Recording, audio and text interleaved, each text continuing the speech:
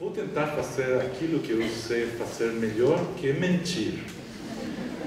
Porque assim é, poderia, incluso, incluso, se fala incluso, incluso não mostrar nada. Só disponer das suas vontades de imaginação. Então podemos somente falar. Mas, na verdade, eu queria muito mentir, porque é, a palavra lembrar em espanhol é, se traduz como recordar. E recordar significa re, vem de recardio, de voltar a passar por coração.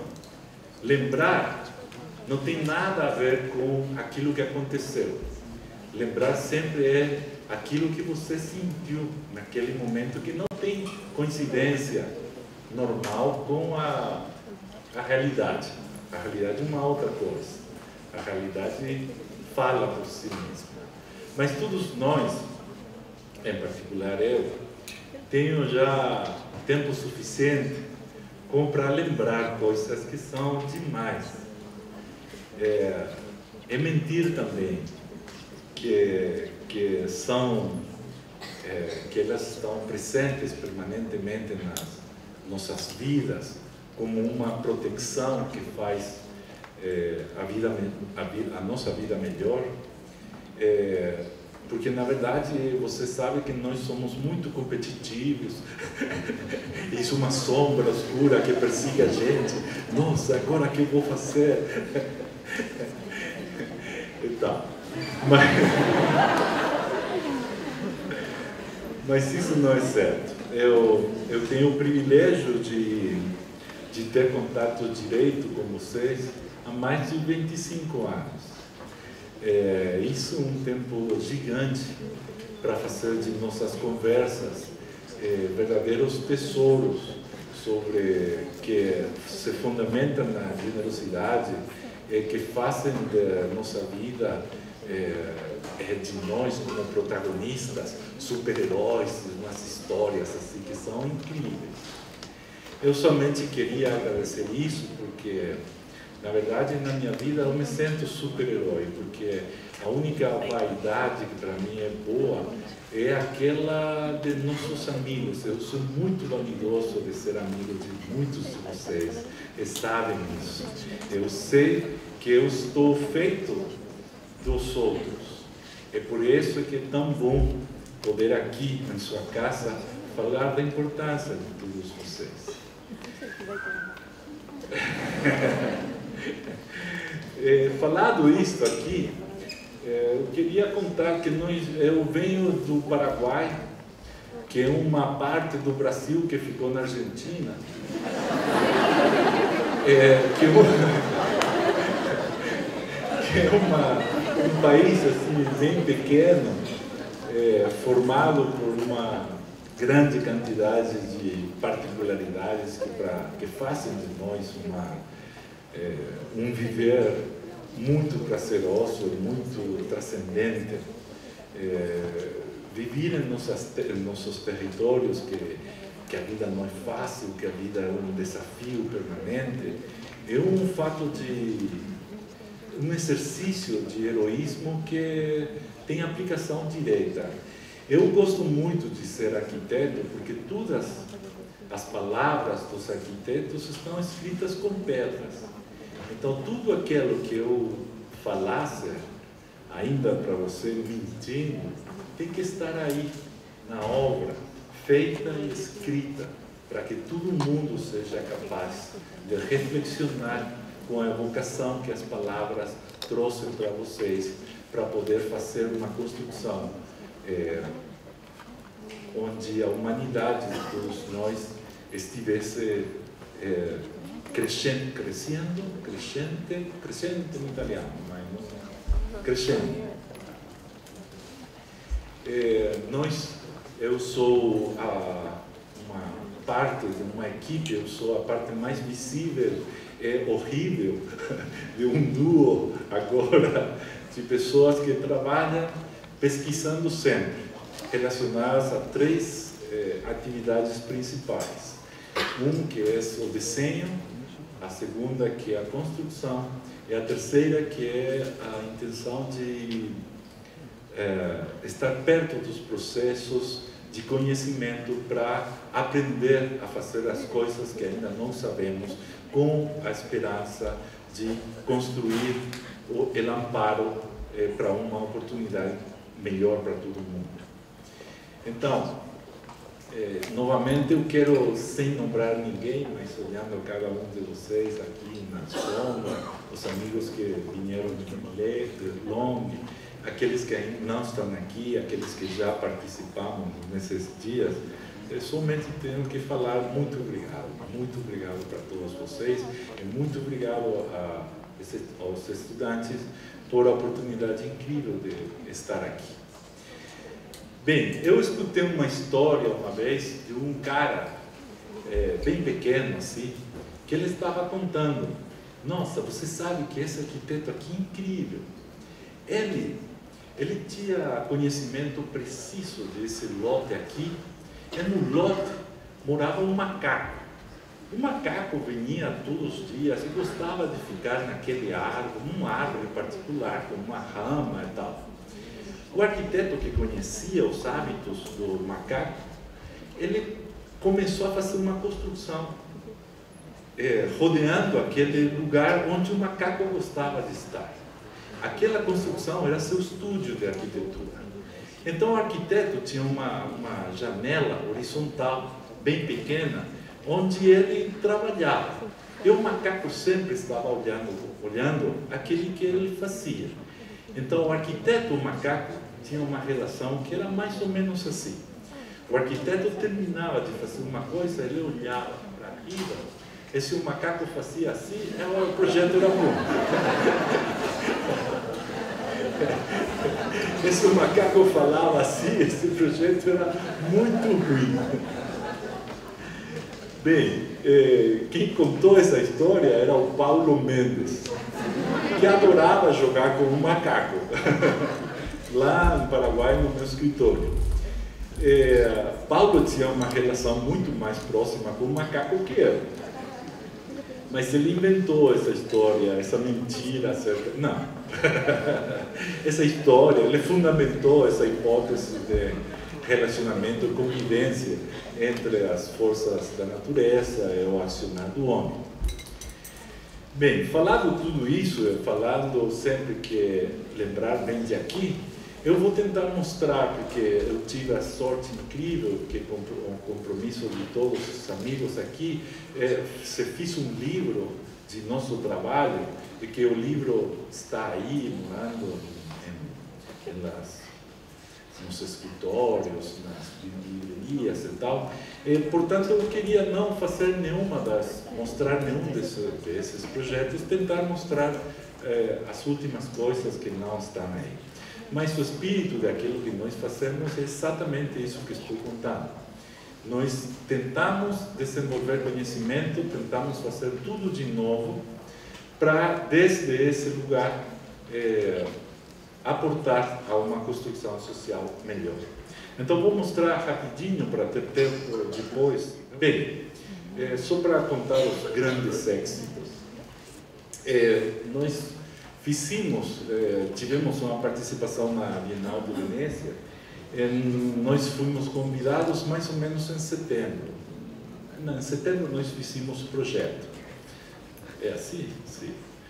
É, setembro, outubro, novembro, dezembro, em janeiro, fevereiro, março, eles escrevem, eles dizem não. Sete meses depois então, não porque, como é que você. Não, porque o projeto que vocês tinham desenvolvido cagava o peso sobre as paredes, então não era possível de, de construir, porque era um arsenal, que era uma, é patrimonial, então você não pode carregar, ninguém sabe, isso é uma ilha, a gente está fazendo uma construção sobre a água e tal. É, tem razão, né? Vamos pensar uma outra coisa. É, enviamos novamente e eles, 20 dias depois, disseram não. Nossa, era incrível. Então, nós estamos aí que já tínhamos planteado a possibilidade de desenvolvimento, de coisas para fazer, mas não tínhamos possibilidade de construir nada. Porque eles, eh, o engenheiro de patrimônio, ponia, eles simplesmente falavam não, ele não falava com nós. Então, finalmente conseguimos uma reunião por Skype. Eh, o próprio Alessandro eh, Aravena começou aí a falar com ele, com nós. É, eu falei assim: nós somente precisamos que você é, fale de uma carga que nós possamos colocar aí. Ele falou: não, aí é para colgar painéis das paredes, não tem que colocar nada. Então a Aravena falou assim: não, imagina um salão grande, assim como esse. Em Chile, nós poderíamos colocar um, dois, três, seis, doze automóveis aqui, doze carros. O engenheiro falou: em Venécia, nós não temos carros. Então, eu falei assim, é, escrevi é, o paralelo a Alejandro falei: não, você fica, eu vou falar com ele, vou conseguir um Finalmente eles falaram assim: bem, nós podemos descarregar 450, o máximo seria 500 quilos por metro quadrado. 500 quilos são cinco caras. É, todo mundo celebrando o triunfo de Corinthians, por exemplo. Aquele ia abaixo, já não tinha. Bem. É, tá bem, ok, agora sim temos um desafio. Então nós começamos a imaginar que coisa pesava isso. E nós sabíamos quanto o custo de aquilo, é, o peso daquilo que nós podemos fazer. E nós finalmente pudimos utilizar 1872 é, tijolos.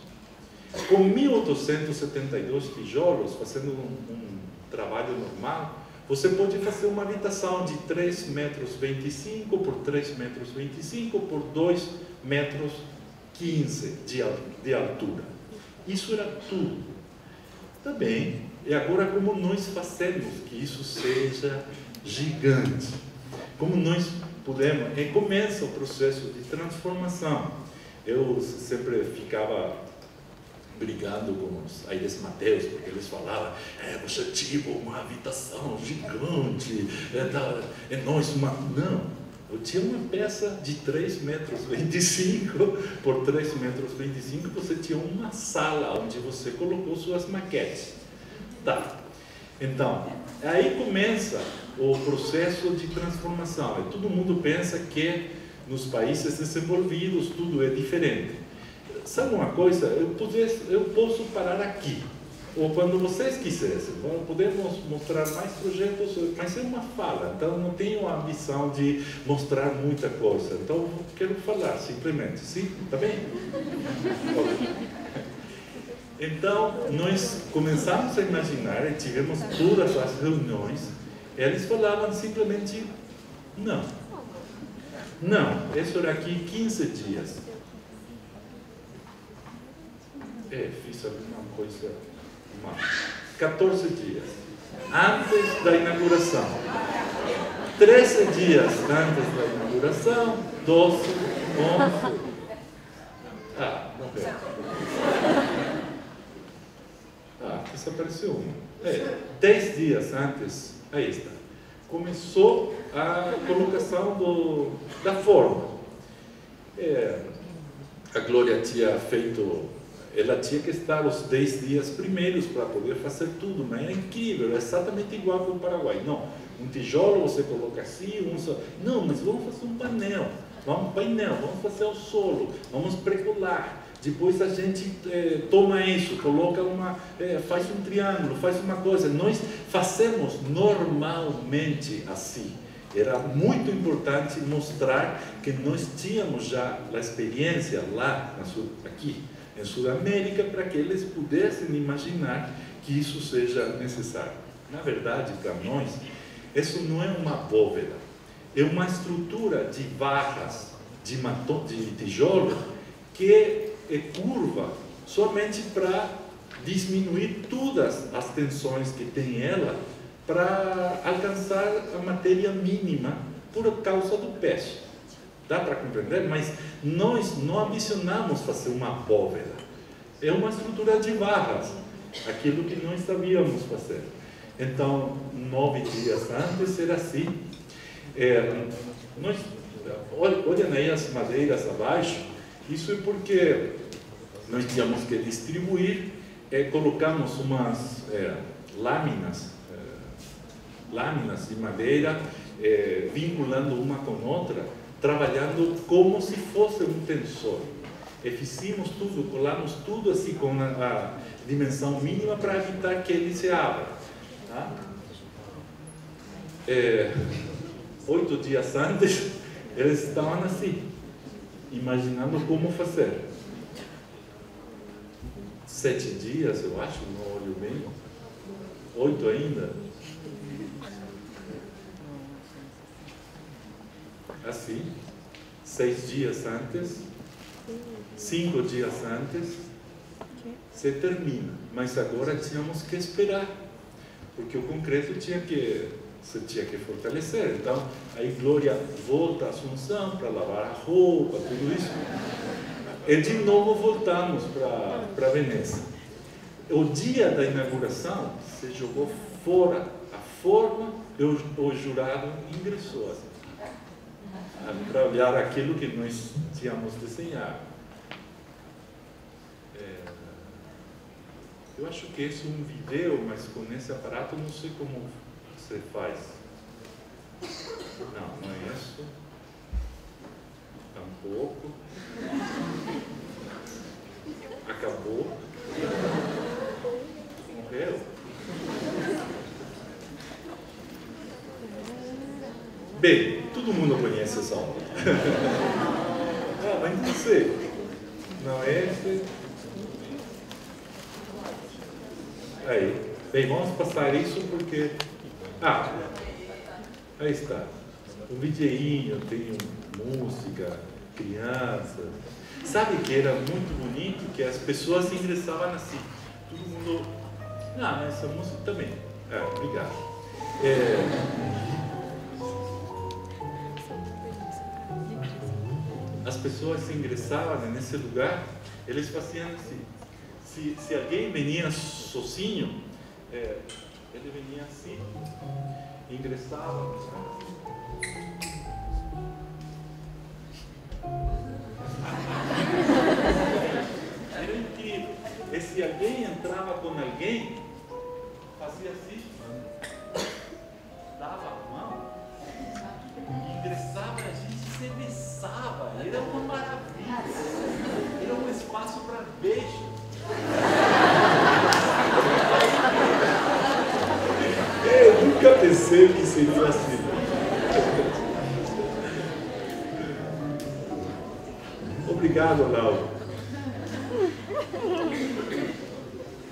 Bem, então, o pavilhão não tem outra coisa assim que uns detalhes mínimos. Nós utilizamos toda a, a, Vou mostrar. Aqui está o ponto vermelho que nunca se guarda. Você olha.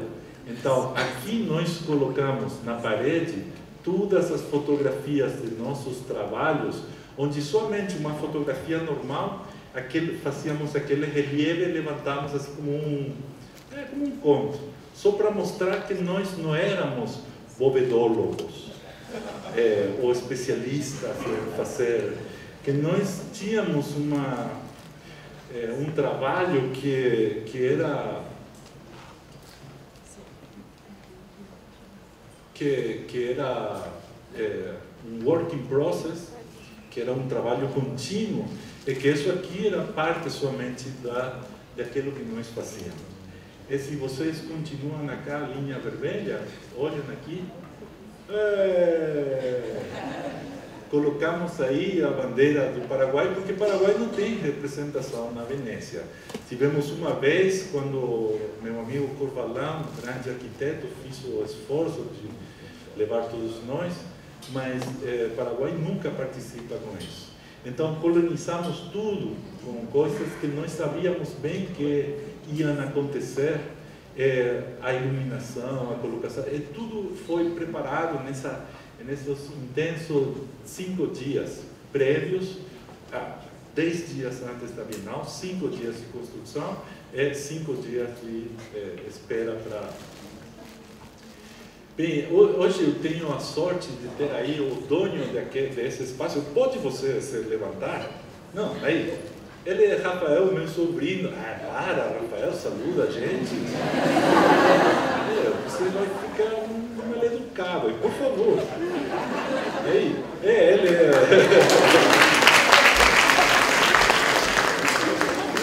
Ele está com outros colaboradores da gente lá e tal.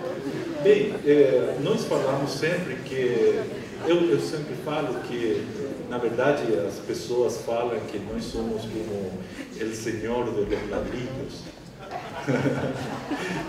Isso não sei como traduzir em, português. O Senhor dos tijolos, mas a rima não é boa. Então, é, eu sempre tento explicar que, que na verdade eu odeio o tijolo. É, porque o tijolo é estúpido.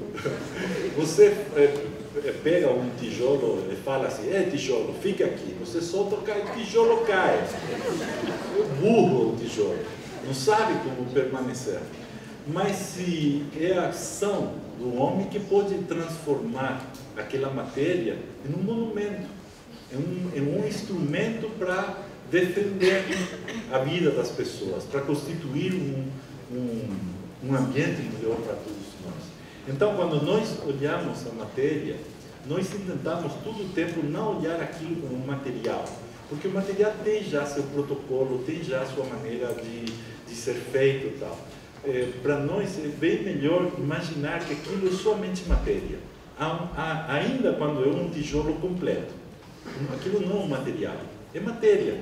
Agora você pode fazer uma outra coisa com ele. É isso que nós fazemos. Fazemos coisas, eh, coisas muito tontas assim.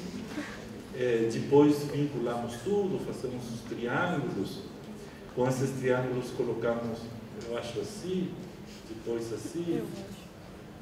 Assim, eh, então começamos sempre a você sabe, aquele que tem um, martilho, todos seus, todas as suas ideias sempre são bater. Então, nós, o que mais, o material que mais nós temos no Paraguai é o, o tijolo. Então, nós preparamos os painéis, distintas alturas tudo, e sempre estamos tentando fazer alguma coisa com eles. Bem, o resultado é mais ou menos esse. O terreiro tem de aqui até aqui se olha a linha ou não se olha está aqui de, de, de limite a limite tem 24 metros então tem é, esse balanço aqui tem mais ou menos 10 metros essa parte de aqui entre essa coluna essa coluna tem 12 metros mais ou menos então nós temos três vigas que vão para trás uma aqui que vai para aí outra aqui e outra aqui a primeira descansa sobre esse pilar aqui. A segunda, que está aqui no limite, descansa no outro pilar que está aqui. Mas a terceira, que se encontra aqui, precisa do balanço para se suster.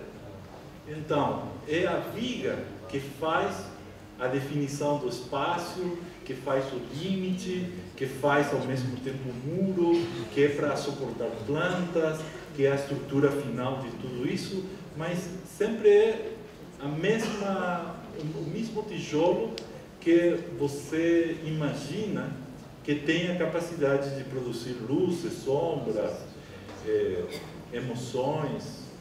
Ah, aí, ah, é para lá. Aí, assim.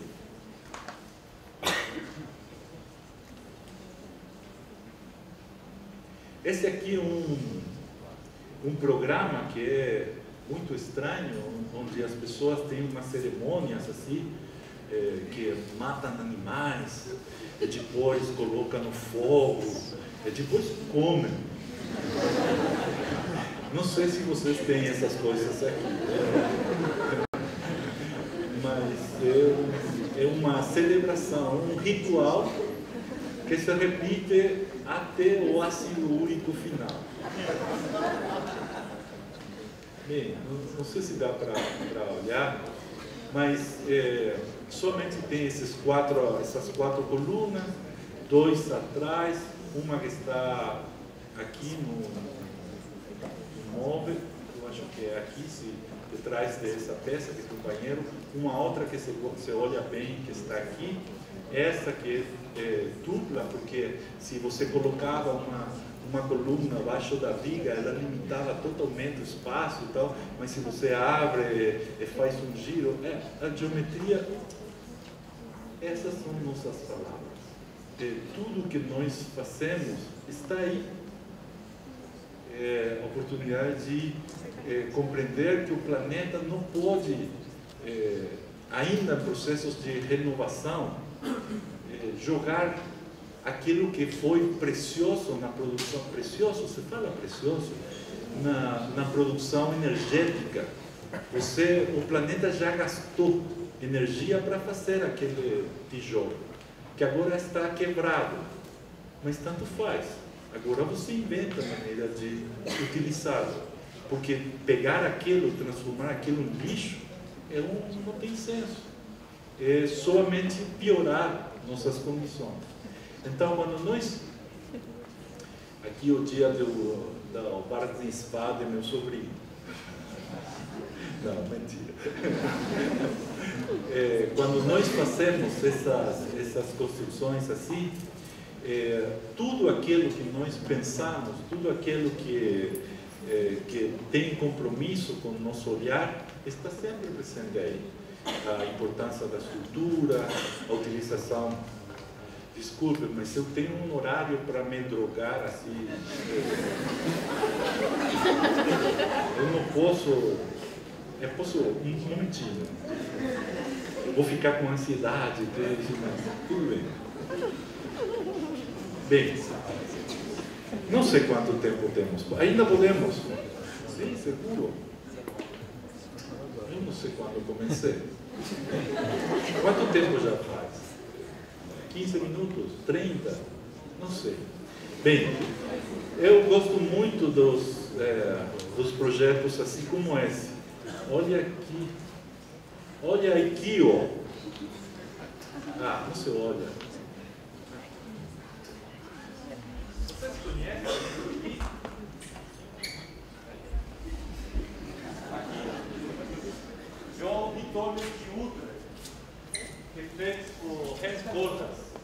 Então, como fez aquele para ter uma laje tão pequena assim, um auditório como esse aqui?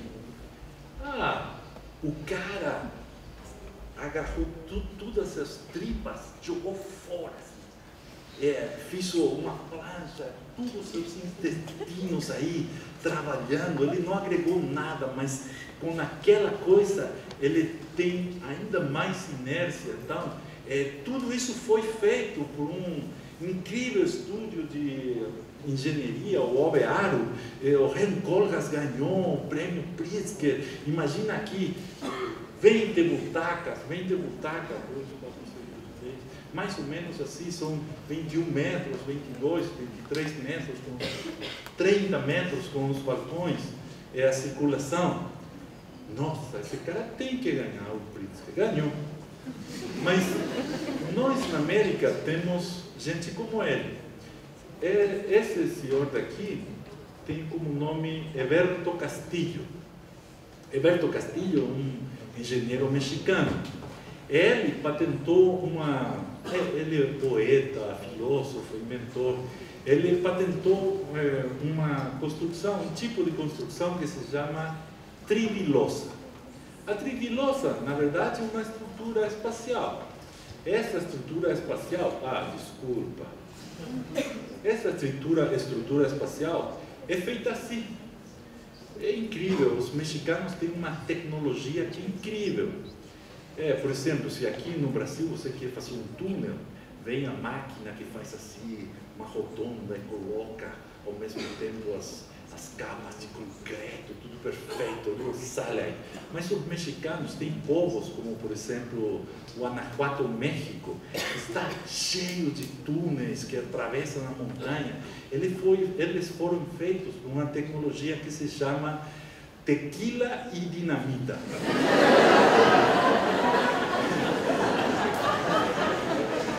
Eles estão assim, ah, Ana, Eles são incríveis. Então, eles têm um totalmente distinto a gente. Porque eles são milhares assim também. É como vocês também. Mas olha aqui, esse é um aço normal de construção que trabalha aqui, que é colocado assim. E olha aqui, as 20 butacas de corda são mais ou menos assim. Tem que jogar, tem que devolver o príncipe. Eu ainda não conheço o Colcas. Ninguém tem que contar que eu faço. Mas estou mentindo. Bem, aí pode é, olhar como trabalha ela, incrível com essa, com essa tecnologia, ele desenvolveu, é, faz muitas variações. É como essas é, lajas, lajes duplas que vocês utilizam, que são tão, tão bonitas e tal, mas entre uma e outra ele utiliza a, o vínculo metálico, faz essa estereoestrutura que, que já não precisa outras vigas e tal assim, Everto Castilho. Everto, na, na, na, verdade, esse é um esquema tridimensional de como funciona. Você pode olhar aí aquilo que é fraco, que é uma prancha, aquilo está trabalhando a tração. E aquilo que é cilíndrico, uma barra que trabalha a compressão. Não tem muito segredo. Mas nós temos. Hum, hum, Hum, hum. Ah, então nós começamos a imaginar que, que aquilo que nós fazíamos, que já tínhamos feito o Teleton, que já tínhamos feito outras estruturas assim importantes, 12 metros, porque aquela do, do, da Bienal é, tem muita visibilidade, tudo bem, mas mais ou menos tem 8 metros, 8 metros, 7, 8 metros, mais, mais ou menos. Mas nós já tínhamos feito eh, 40 metros por 15 metros e tal, assim. Mas era interessante porque a, a, a, conversa com o engenheiro era, ele estava assim muito preocupado. Não, não, Solano, isso não é assim. Sabe, isso não trabalha como nós estamos pensando. Ele, eu falava assim, é, é, você está com medo. É. Não, esse não trabalha assim, uma outra coisa. Eu acho que essas são as estruturas de barras. Claro. Uma estrutura de barra. É claro. Porque o tijolo sempre foi uma estrutura laminar. Você pode fazer uma parede. É contínuo. Por isso é uma bóveda, por isso uma, uma cúpula. Como se fala cúpula?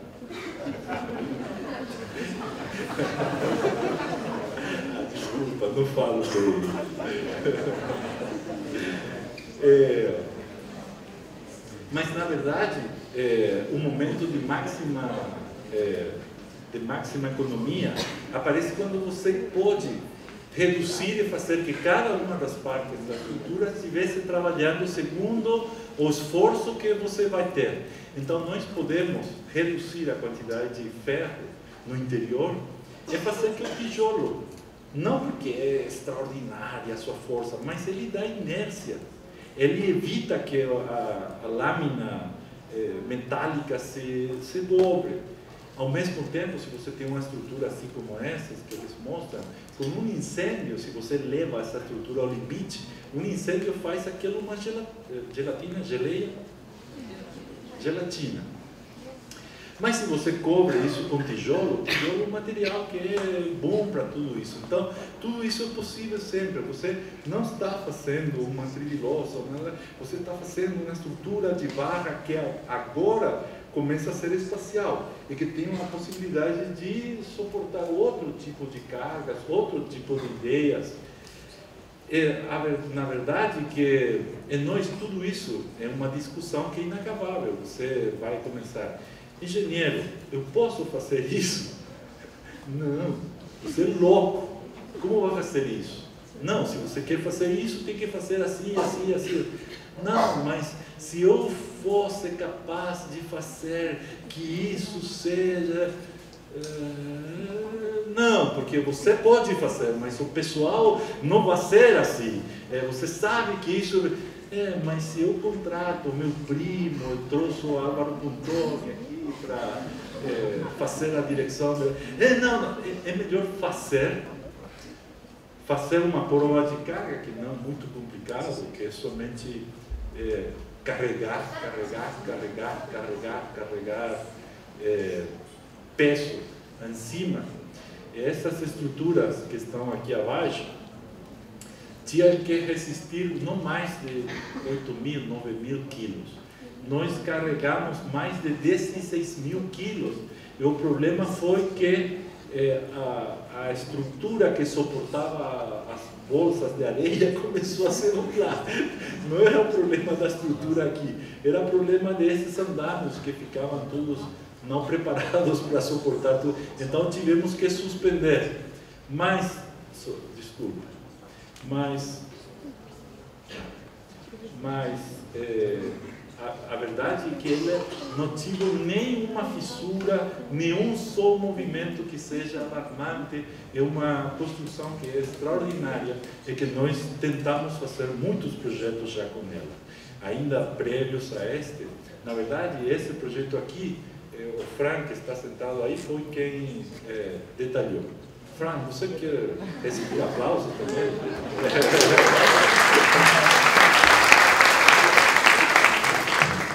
Bem, nós é, fizemos, por exemplo, essa concorrência para Chile. Em Chile, uma antena era uma barra que tinha que ter 176 metros. Imagina, a barra sempre é muito comprida e tem muito tensor para suportar tudo aquilo. A outra oportunidade que, a, que as bases falavam era essa, que sejam duas, de 124 metros mas com uma distância mais ou menos de 50 metros entre uma e outra. 50? Sim, 50 metros.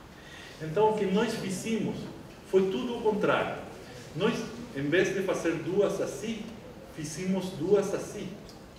Duas horizontais lá acima, porque o problema com uma antena são as microondas. Quando você percebe que sua pele se está queimando, já é porque seu, bom, é, osso, seu osso já está totalmente possível. Então aquilo é terrível, você não pode habitar uma antena. Uma antena é uma infraestrutura solitária, que não pode ser humanizada, que não pode é, receber gente porque tem que alejar. Mas se você coloca as antenas lá arriba, essa distância de 20 metros dá perfeito para estar abaixo das antenas e as antenas radiando para. E nós fizemos dois paredes de tijolo de 176 metros por 70 e não sei quanto, assim, assim, feita com a mesma estrutura. Então é uma, já não precisa é, tirantes, já não precisa porque é uma, são duas paredes que trabalham juntas. E os elevadores e tudo fazem que você pudesse, ah, desculpa, que você pudesse até aqui colocar é, pessoas no paisagem. Então, tá, esse é Santiago, aqui esse é o, o, o, prédio de, mais alto de toda a Sudamérica, que é a torre de César Pelli. E nós não temos essa altura, mas nós estamos aqui arriba do céu, do morro. Então somos mais altos, logicamente. Nós fomos derrotados com todo êxito por Smilian Ravi, é, um grande arquiteto mexicano, é, chileno também. É mais ou menos assim, que nós imaginamos que é,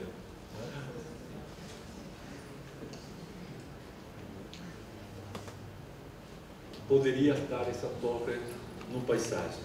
Novamente, uma estrutura de barras, de tijolo, que se coloca com sua máxima capacidade, com sua máxima estrutura para permitir não somente o desenvolvimento da, da tecnologia que tem que trabalhar e tudo isso, também para que as pessoas pudessem estar nessa nova torre que simboliza a, a, conexão, a comunicação de tudo e tal. É, como estamos de tempo? Que podemos. É, já acabamos? Não. Você quer mais? Você tem pressuposto extra? Pra...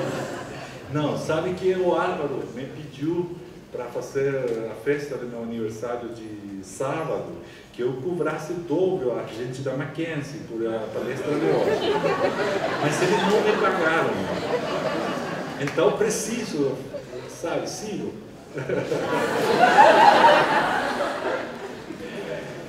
Bem, não sei quanto mais podemos falar. Eu posso falar mais, mas depende de vocês. Depois temos a mesa redonda. Não?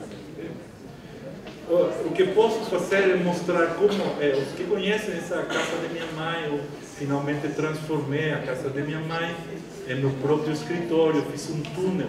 Esse túnel aí, que é abaixo das rampas, era um perroduto. É, um perroduto, era para que o cão pudesse ir ao pátio de trás e de adiante, abaixo da. É um perroduto. Então, é, quando eu convenci a minha mãe, eu ganhei a minha mãe para fazer aí no escritório, é, minha mãe pensava é, que tudo bem, que todo mundo ia entrar pela porta principal, saludar ela. Mas eu fiz um poço, um outro túnel, essa ia, aí afora.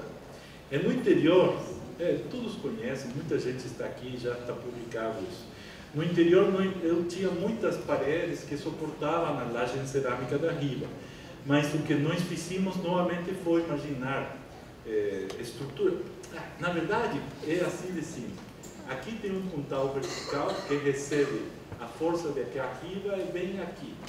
Para que esse pontal não tivesse flexocompressão, assim que eu pandeio, então trabalha com tudo isso aqui. Nós preparamos isso no chão e depois colocamos com esse sapato aqui de concreto. Então, com, com isso, nós é, venimos com o pilar de, de, tijolo, colocamos aí arriba e depois é, calçamos com esse sapatinho aqui. Como se diz sapato? Sapato. Sapatinho? Sapatinho. Assim. É, eu acho que aí está franco. Bem, então nós jogamos fora uma partida de, de paredes e coisas assim, colocamos lugar para as hamacas, porque a gente é muito fanática de trabalhar muito.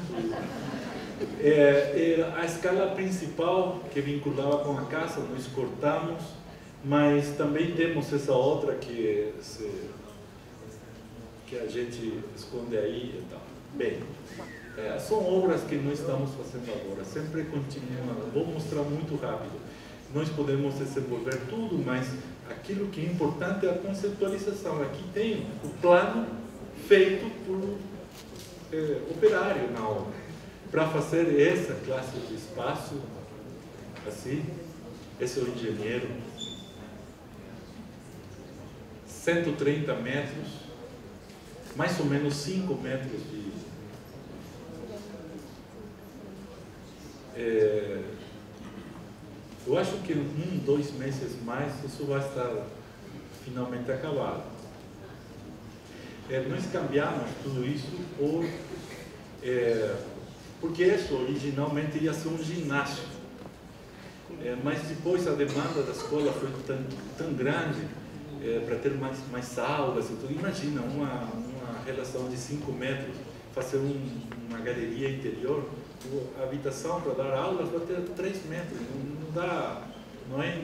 Então, nós imaginamos, cambiamos a cobertura final e fizemos uma, uma laje para suportar ao exterior as eh, novas eh, circulações por fora para depois voltar a ingressar no interior do, do... Então, agora tem os 5 metros plenos e você entra e sai utilizando o exterior do, do edifício. Bem, eu acho que essa é uma última obra que somente vou mostrar, que eu sou um grande, além da, da colaboração dos grandes fotógrafos que começaram a, a ir por, a, por Assunção, eh, isso cambiou muito eh, nas possibilidades que nós tínhamos. Nós temos que ser muito agradecidos. As primeiras conversas que nós tivemos eh, fizeram que, que o universo se comece a abrir. Eh, nós, na Assunção, recebíamos a presença de muitos maestros da arquitetura latino-americana. Podia aparecer eh, Clorindo Testa, podia aparecer eh, eh, Rujo eh, Solsona tal. Eles vinham comiam nosso assado, que é uma maravilha, e voltavam nas suas casas, tudo acabava aí. Mas quando foi, é, porque os amigos já tinham falado a, ao pai do, do Pedro, é, que, que aí no Paraguai tem um cara que está um pouco louco, tal, tal, tal. É, o Paulo ficou com interesse para saber que coisa era aquilo. Então ele foi para Assunção. E a generosidade de Paulo foi absoluta. Paulo foi quem abriu todas as portas para nós, foi quem começou decididamente o trabalho de, é, de divulgação daquilo que nós fazíamos.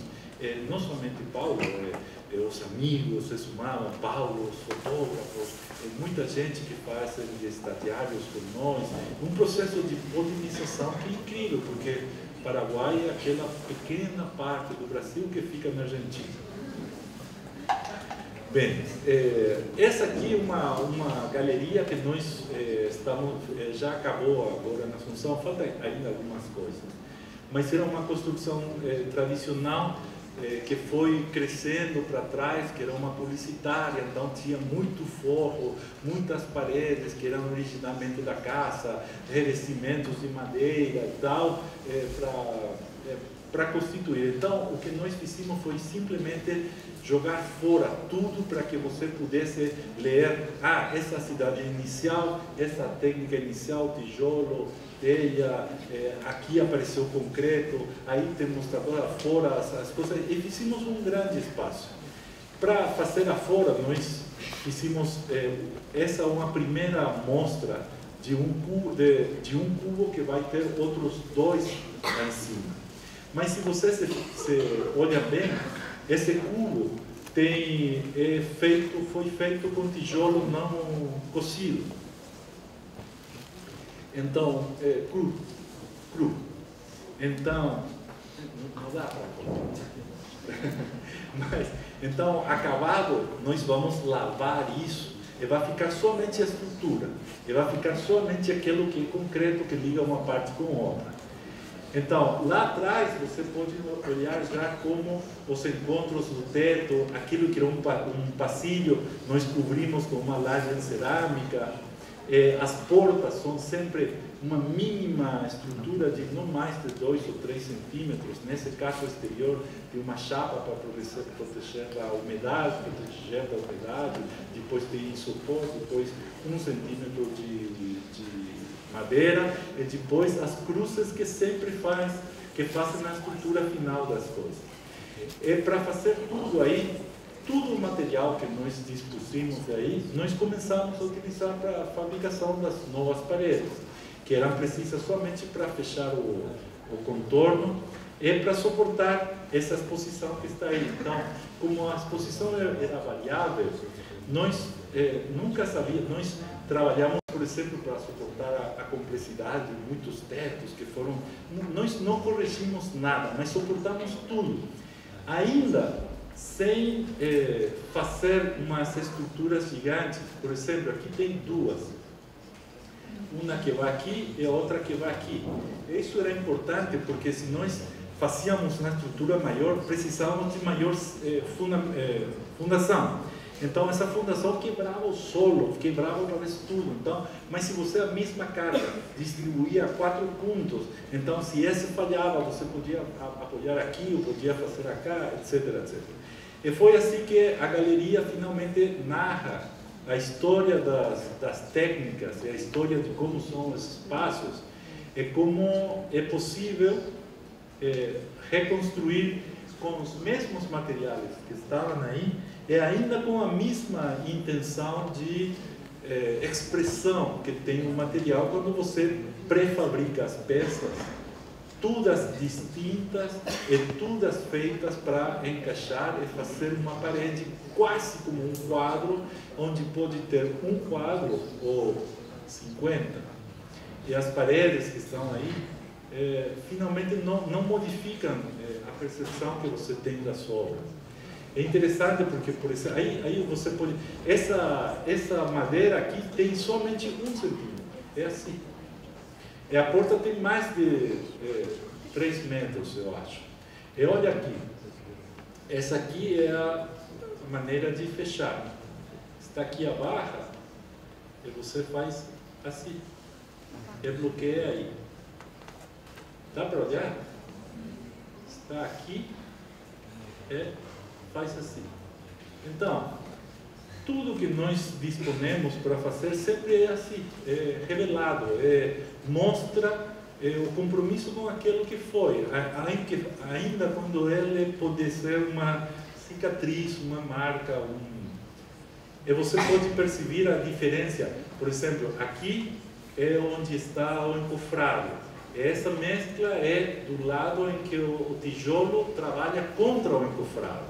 Essa aí é uma parede muito rápida, porque se você quer colocar um tijolo assim, e depois outro assim, precisa ter uma linha, e depois com a linha alinhar, é fazer a plomada, tudo isso. Mas quando você tem um, um, uma forma, você vai jogando as peças e vai colocando a mescla. Então, a, a velocidade de elaboração de um operário é bem maior nessas condições que não. E na parede de frente você está olhando o, é, o, o, lado é, onde o operário está trabalhando. Tem uma outra expressividade, é, totalmente distinta, assim, que é o lugar onde gira um e outro. Então, não, não ambicionamos particularmente uma estética, nós não ambicionamos uma maneira de é, de considerar que deveriam ser os espaços e tal. Eh, todo o tempo estamos, essa é a parede que nós vamos lavar. Todo o tempo estamos imaginando como é possível olhar os materiais e voltar a eles a ser matéria e desde essa nova matéria imaginar oportunidades que quando aparecem eh, são soluções que são para todo mundo então, esse concreto aí somente tem fibra. No interior, fibra metálica, então já não tem uma outra armadura. Tem lá arriba uma, uma L metálica que não se olha, porque é assim. Então, depois vai apoiar uma contra a outra assim, num ponto. Você é, vai ser muito dramático, porque além disso, a parte de fora vai ficar azul, bem escuro. A interior vai ser branco então você vai olhar uma coisa de fora, olhando o interior, que vai ser mais, é, ainda mais potente. E isso vai estar é, um pouco espaçado assim e tal, tal, mas sempre é com a, a intenção de é, reconhecer a capacidade final de tudo aquilo que nós fazemos.